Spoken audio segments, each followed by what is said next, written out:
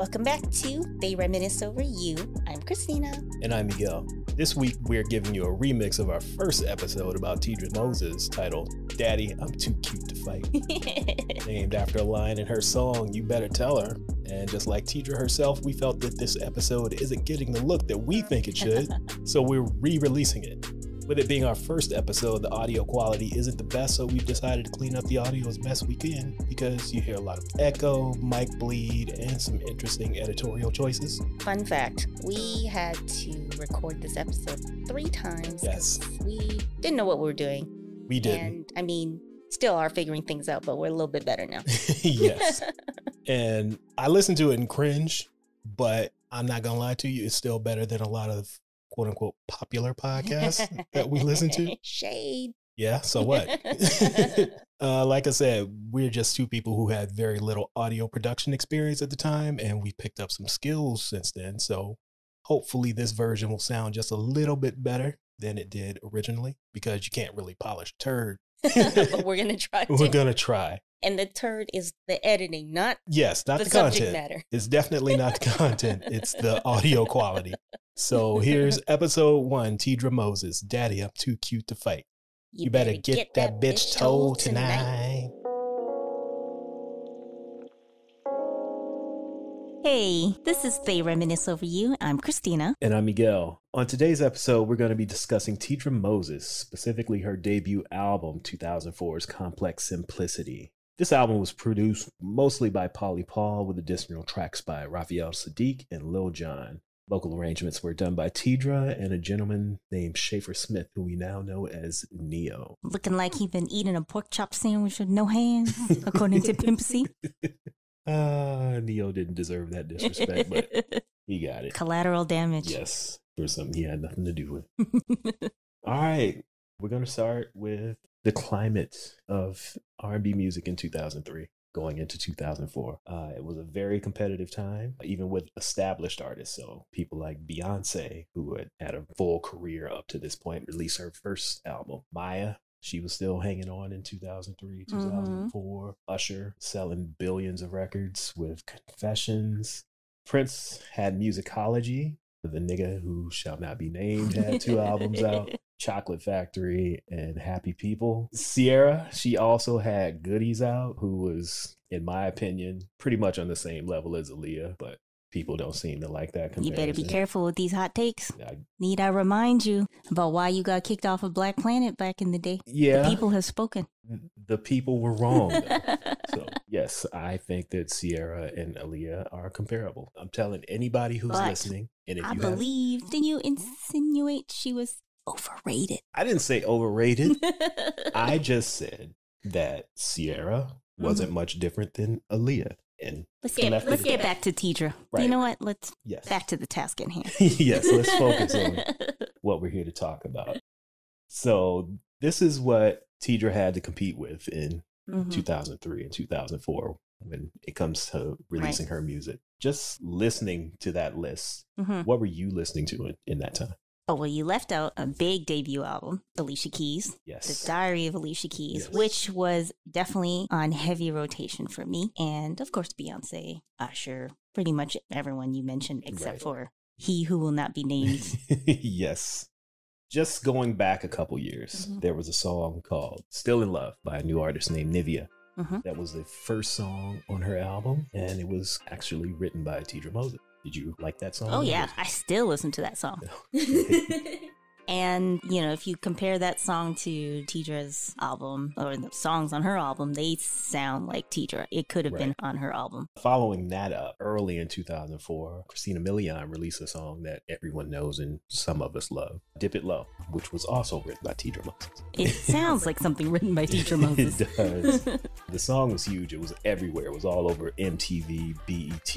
It reached number five on the Billboard Hot 100 in the US, top mm-hmm. five in the UK, top 10 in Denmark, Netherlands, New Zealand, Norway. It is Christina Milian's biggest song right. to this day, and it was written by Teedra Moses. Well, I was looking at the Billboard Top 100 charts the week that Be Your Girl was released, and Dip It Low was on the top 100, but Be Your Girl was nowhere to be found that week. And I think I checked a couple weeks after that too. Which kind of brings us to why we're here. Her debut album, and by her, I mean Teedra Moses, Complex Simplicity, was released in 2004. She had been writing songs, as we mentioned, for other people. Some were bigger hits than others. And finally, it seems that she was getting her shot.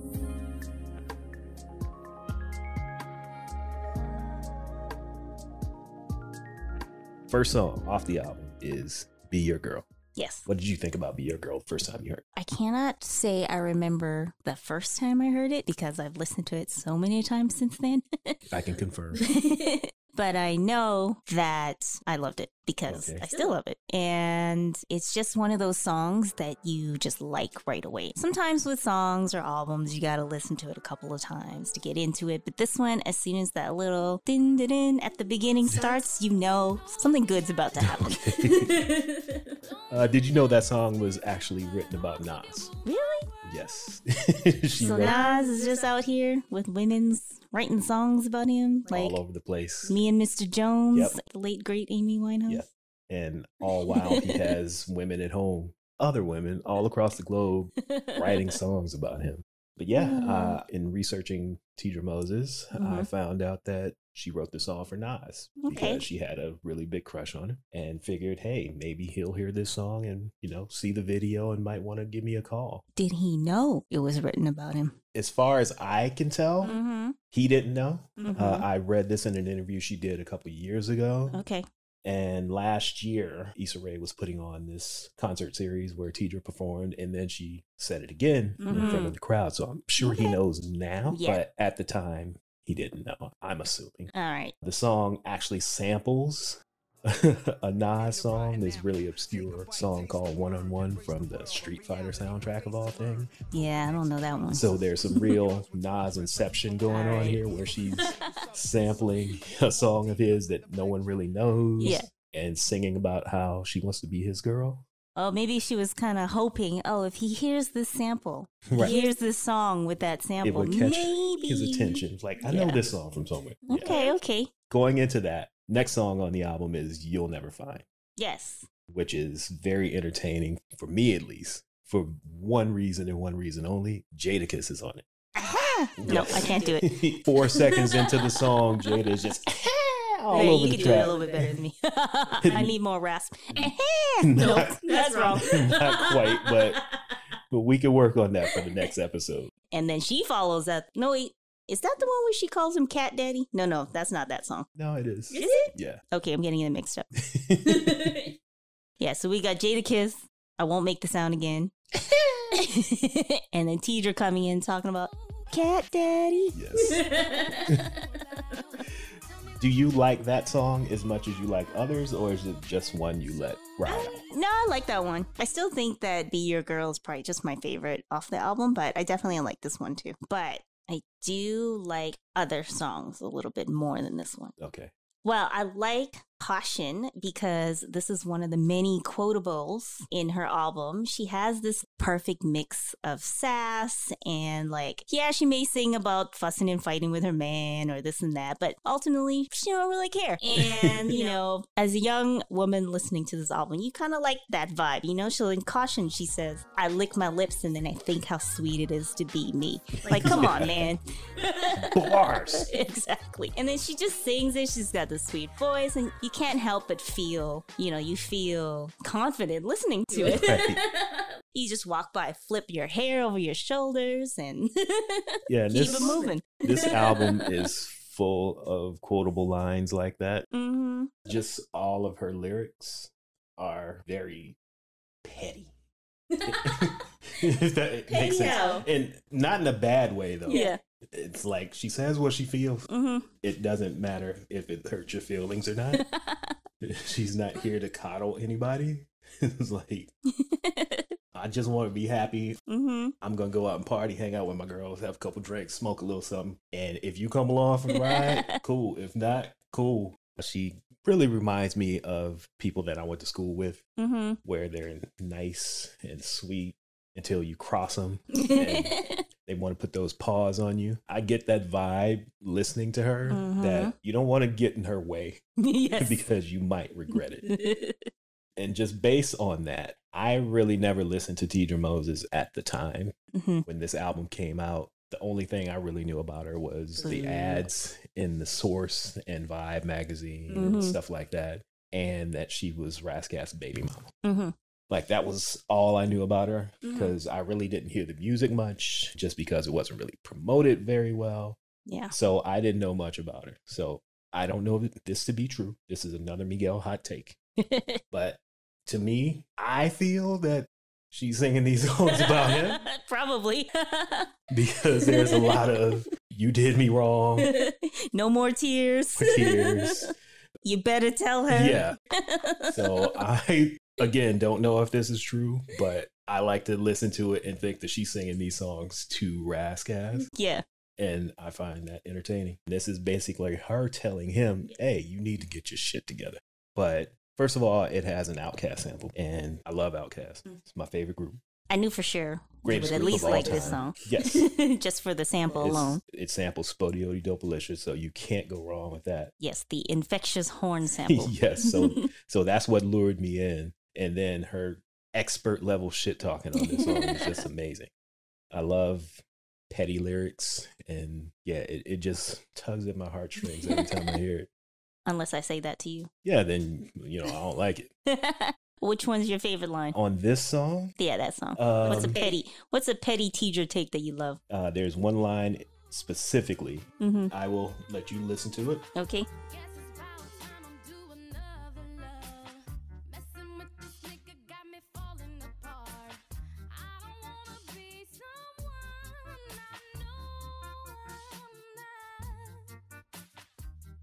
So there's another song on this album that I like as well. Mm-hmm. It's uh because I'm a big Tony! Toni! Toné! fan. Right. Called Take Me. It's a duet with Raphael Saadiq. Is that one of your favorites? You like it? You don't like it? Yeah, I like it because I'm a Tony, Tony, Tony, Raphael Saadiq, Lucy Pearl fan. Right. So it was it was a good duet. It's just a nice, smooth R and B song. Yeah. How can you not like it? I'm sure someone doesn't, but Yeah. Well, we I don't like those people. Yes, they're, they're, they're not our people. Yes.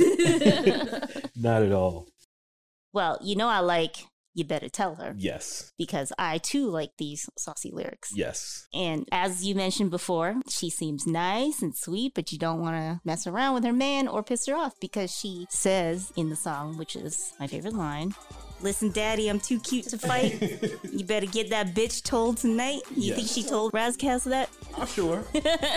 I'm sure he's heard lots of these lyrics. But later in the song, or somewhere else in the song, she also says, I damn near slapped her face. So, even though she's too cute to fight, she might if she has to. yeah, just listening to this again, I imagine this happening in Hollywood. She's on one side of the room with Ras Kass. She sees some girl eyeing him yep. and like, hey, You better get that bitch told tonight. yes, you better go tell her yes. to stop looking over here at me before she get these paws and claws on her. Yeah. Well, I was really happy to hear this song being featured on Insecure because that means that a new generation of folks who may have not heard of her will now hear of her. And the song, despite this album being what, like 15, 16 years old now? Well, probably 15 at the time when the song was featured on the episode. But the fact that it still sounded good next to the rest of the soundtrack for the show, which normally plays pretty current music. And so that kind of shows how this album is timeless. That 15 years later, we could still listen to it and still enjoy it. And people who are young enough to be our kids can also enjoy it as well. Also makes you feel a little old, but I'm not old, I'm classic. classic, Yes. classic, as you like to say. We mentioned a lot of these other albums that had came out at the same time or around the same time as this. Like I used to listen to The Diary of Alicia Keys all the time. I barely listen to it now, but as you know, I listen to Teedra at least once a month, sometimes more. You say it's once a month. I say it's more like every other week. I think it's because I have playlists that you Yeah. hear one song here and there. Because when I say once a month, I mean like the whole album. Okay. Because I can pretty much guarantee I hear more songs like every other week. Uh-huh. So I just assume that you're listening Yeah. to the album. And I still love some of those other albums that came out at the time, but I just don't listen to them as often anymore. Well, it makes sense Mm-hmm. because, like I said, I really didn't listen to the music at the time that it came out. hmm But just listening to it over the past couple weeks, it's something that I've added to my rotation. So I might not listen to it every week, but it's not going away. This is a no skip album. It is. As somebody who was late to the party and finally breaking down and listening to the entire album from front to back in Mhm. 2020, yep. I agree that it's something you can just put on and listen to. There are, of course, songs that I like more than other songs. Yes. And there are a couple songs that maybe I wouldn't go out of my way to listen to, but I like them. Right. And this is meant to be a compliment, but it's also the perfect album to put on in the background. The reason why you heard me listen to it so often over these years, too, is one, obviously I like it. And two, it's the perfect album to listen to when I just want some music on to just have in the background where it's enough to make you feel good but it's Right. not so much that you you're dancing instead of doing your work Yes. or uh, you know trying to start a fight or something if you're listening to you know knuck if you buck that's not exactly a work song Depends on where you work. that's true I have nothing bad to say. No feedback, no nothing. It's perfect. I'm not going to say it's perfect, but it's a damn good album. Mhm. For someone who didn't listen to it for 15 years, I appreciate it for what it is, and I think it's a good R&B album. It Yeah. should be more widely known than it is.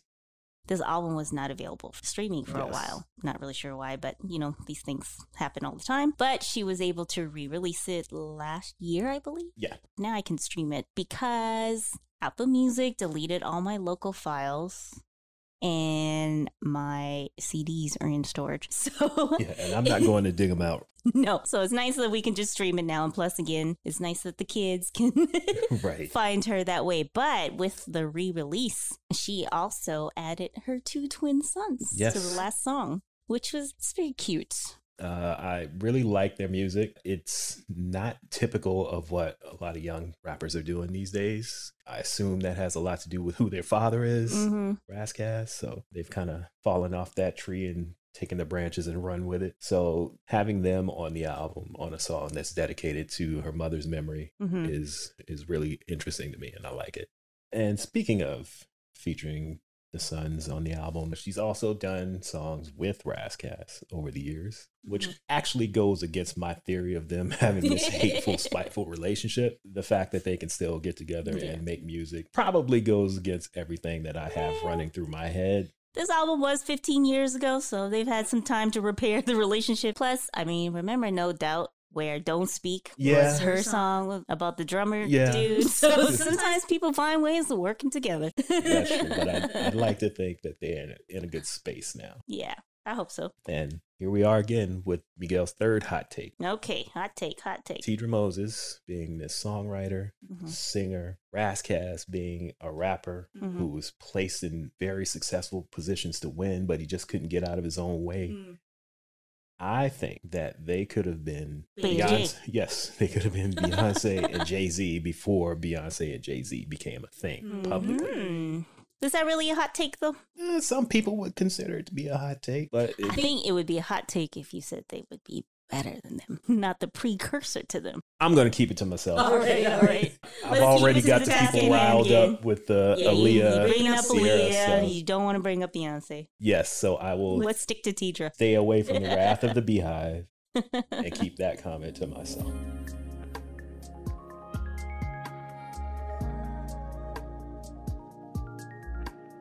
All right, so why do you think this album in particular, Mhm. and in sort of the same way her career hasn't mm-hmm. really taken off the way that you think it should have? It has to be just promotion and marketing and stuff because even though she had a lot of competition at that time, we know that her sound works because again, Dip It Low, Nivea, all that stuff. Like we know the sound works. And even just looking at the Billboard chart, Billboard, yeah, why can't I say this?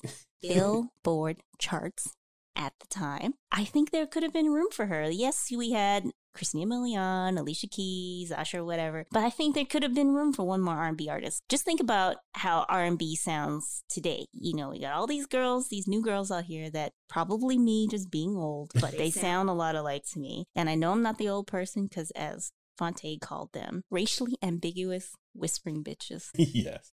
There's a lot of them out there. And again, to the untrained ear, maybe because I'm not such a huge fan. I mean, I like some of these new R&B singers, but there's a lot of them, and they have a pretty good fan base, each of them. But they do have a similar sound. So why, at that time, couldn't there be room for one more? I mean, maybe it's the way we consume music now that's a little bit different. That everything is just so readily available 24 7 of course marketing promotion you always need that but back then you had to buy albums Right. yeah you would hear them on the radio or we were starting to have you know being able to download stuff but You had to You- go to the store yeah you still an effort. yeah you still had to for the most of us still had to buy it somewhere you might get the odd download or something here and there but it just didn't work that way so it had to be just the lack of promotion and marketing because it's a solid album it's a no skip album and we know the sound works Yeah. And in my opinion, it is due to her just being signed to TVT because just based on her sound Mhm. and other people who were successful around that time who have a similar sound and vibe like Amerie, Ashanti, Christina Milian, Mhm. they were all signed to major labels. So their promotion was a lot bigger than what TVT was giving. Yeah. I think that's basically what the Mm. the reasoning was that nobody really knew, or at least a larger audience. a larger didn't. audience didn't really know who she Yeah. was. because we know her fan base loves her She has a strong, solid fan base to this day, hmm and they are down for anything that she does. And I have been converted to one of those people.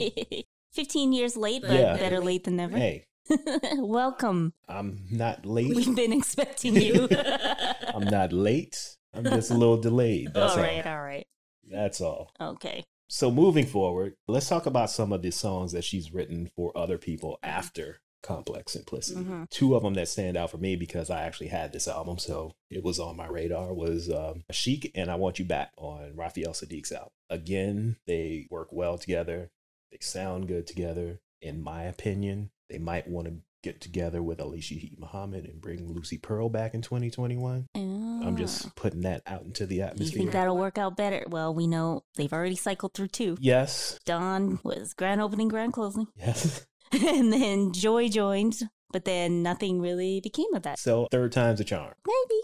Maybe she don't want to be part of a group. Maybe she doesn't, but I'm gonna put that in the air. So Saadiq, Ali, Teedra, Lucy Pearl, 2021. Yeah. You heard it here first. If it Okay. happens, come back to this episode and see that I called it in December of Okay, okay. Uh, so those two songs on that album, I like those as well. It fits in with the vibe of the first song they did on her album. So I really think that they should continue to work together and do more stuff.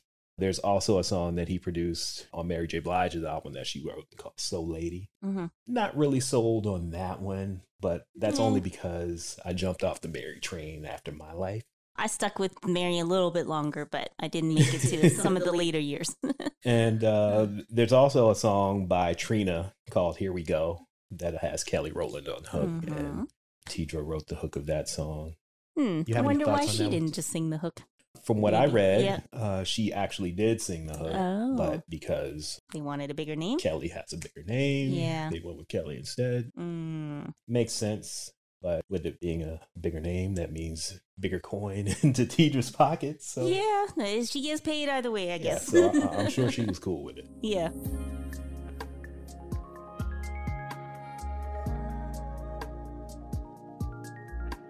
me not being a huge fan, could you kind of tell my me and other people who may not be fans of Teedra Moses about her other works? She does have two other albums, Cognac and Conversation, which fits her vibe. You've Yes. always said that she seems like a person who likes to just have a little drinky drink, a little smoky smoke. Yeah, and she seems like she just has that low key turn up vibe. yeah, little drink, little smoke, little backyard party with a couple friends. yeah. Like every song I've heard Mhm. sounds like you just hanging out at her house, yeah. like you rent a fight, Yeah. and when the fight is over, everybody turns the music on. There's snacks being passed around. yes. There's literally cognac on the table that Yes. people are sipping on. Somebody's out Cognac and conversation. somebody's out in the backyard lighting up. So that's the vibe I get from Yeah. listening to Teedra Moses. so you should check out that The- album too. The title Cognac and Conversation is perfect.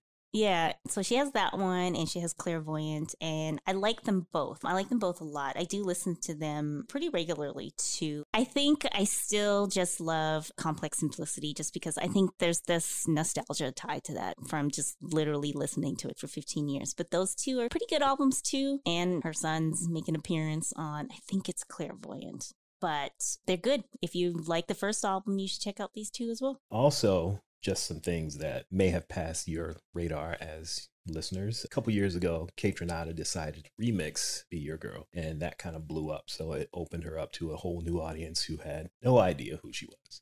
Also, she had the insecure placement, like you said Yes. earlier. So she's still out here making new music currently. So she Mhm. hasn't disappeared. Mm-mm. What do you think about the song Black Love? Oh, I love it. Her music to me basically sounds like sunshine. Like everything to, to go with that, what you were saying about, you know, the, her vibes just hanging out, chilling and stuff. She also, it sounds like summer. Like I could tell she lives somewhere sunny. You know what? Just based on the Black Love video Yeah. and her video that she just released last week, Yes. I've deduced that she lives in Miami. Oh, I just assumed it was California. Just because, well, she used to live in California, Right. but just looking at the background and Mm-hmm. certain landmarks is like Miami, Fort Lauderdale, Mm. Hollywood type area. She definitely lives where, somewhere sunny. Yes. Like this music was made in the sunshine. like you listen to Mobb Deep, you know they live somewhere cold. yes. I mean, there's a New York sound, but that music sounds cold. We're going through a Toronto winter right now, and listening to this sunshine music, it's not quite the same. but as soon as that summer hits, yeah. but yeah, I love Black Love. A lot of times with artists that have been around for a while, they have a hard time, even if they were, you know, huge artists, they have a hard time maintaining that over the years. Jodeci. I was just gonna say Jodeci as well. I love Jodeci, but you know, when they tried to come out with that comeback album, it just wasn't the same. Whereas Black Love, it sounds like her, but it still sounds current. It doesn't sound like why is she making that old ass music? like it just it works that she's one of the few artists that's been able to have longevity. Yeah. And uh, for those who are interested, since I didn't mention it, Black Love is on Salaam Remi's album featuring Teedra and DJ D Nice. Also, she just released another song called Cashmere Compliments, which another one has some great lines and makes me chuckle. Get the fuck on. so I, I really like that one too. She also has a new album coming out. It didn't have a date, it just said 2021 Mhm. called The Bullshit. which kind of goes along with what we've been saying about her that yes. she's very blunt and will tell you what she feels and Mhm. i expect to hear more of that on the forthcoming album Well, I feel like we have an understanding of what she's like, listening to her music and even just these lines that she throws out and what she chooses to name her albums and stuff. I wouldn't say that I know her, but I did meet her once. Tell us about it. Story time. yes It was, I don't remember exactly when, 2006 or something. I don't know. But it was a New Year's Eve party and she was in Toronto doing a show. I just remember being mesmerized just watching her. And she had on this like white dress and it was really short. And I was just looking at her legs like, wow, I need to get into the gym. And then my friends got us into like the VIP room and she was in there and I wanted to take a picture so bad. And she's just stunning in person. And I was so scared that I was going to look like some ugly troll next to her, but I took that picture with her anyways. This was before the age of camera phones. So I had to just hope that the picture turned out okay. We might have even taken two. No, actually, we took one photo because I didn't want to, you know, bother her too much. and she was very gracious about it. She was very sweet. And I'm so happy that the picture actually turned out just fine. We look like two gal pals just kicking it. two friends out on the town Yep. hanging out the Yeah. vip Ringing in 2006 or whatever it was together. well that's the story you can tell yep. me and my best friend Teedra Back in the day. on new year's eve Painting the town red. yes i've seen the picture i can confirm it's a very good photo we might post it on the uh the instagrams or the Yes. twitters I'm sure I have it saved somewhere very safe. Yeah, we can, we can pull it up and post that. In researching the album, Yeah. I do notice that there are a lot of people who absolutely love it. Like if you do a Twitter search for Teedra Moses, hmm all you're gonna find are good things. Yes. And people who are willing to stab over Teedra Moses. Yeah. Like you never see anything like, damn, Teedra Moses is whack. Maybe that's why I, I've never thought of, you know, what it would have been like if maybe she had a little less competition because you never actually hear anything bad about Right. No one ever says, oh, she's overrated or why did we like that? Right. when you do see people talk about her, it's always like, I love this song. Yeah. All right. So can you give us three suggestions for people who are new to Teedra Moses to Three suggestions? to to look into listening to? My three suggestions is listen to it, listen to it, and listen to it.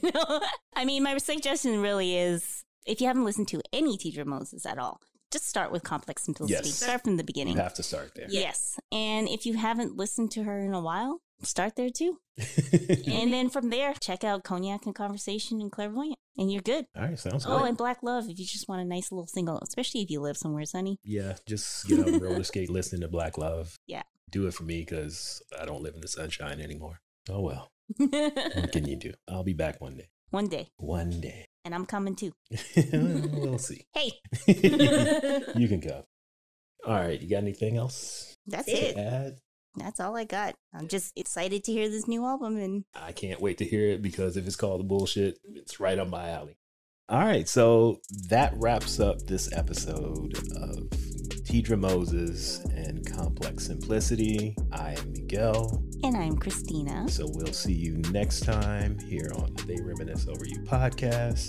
Uh, make sure to follow us on Instagram, on Twitter, wherever you get your podcasts. You can rate and subscribe so you can get notifications when new episodes are coming out. And one place you won't find us is on Facebook because that's where your mamas hang out. And we don't want to be there. We don't want to be there. With that said, until next time, you can just, like I said, check us out in those locations. And until then, bye bye. Bye.